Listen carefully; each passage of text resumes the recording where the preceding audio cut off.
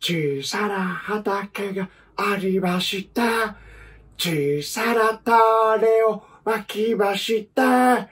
くっくっくっく目が伸びて、花が咲きました。パ中くらいの畑がありました。中くらいの種をまきましてた。ぐぐぐぐ目が伸びて、花が咲きました。パ大きな畑がありまして、大きな種をまきました。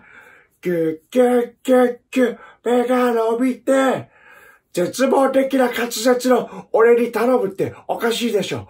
三四郎の小宮です。終わりです。